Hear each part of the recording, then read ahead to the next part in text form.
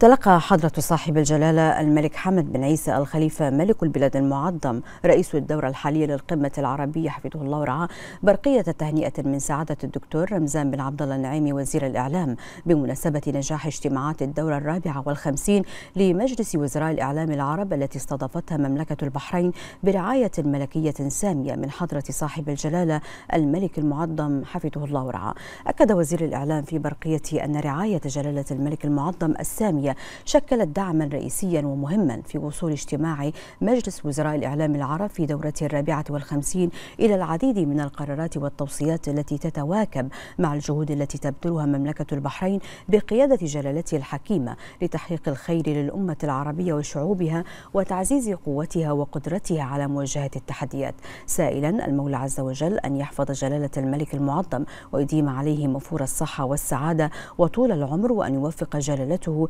لكل ما فيه الخير للوطن والمواطنين.